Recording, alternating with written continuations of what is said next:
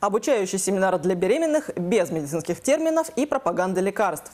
В рамках тура знаменитая певица Саша Зверева, то самое солнышко в руках, и по совместительству мама троих детей делится своим материнским опытом. Сегодня на встречу с ней пришли несколько десятков будущих мам из Краевого центра. Семинар продолжится и завтра.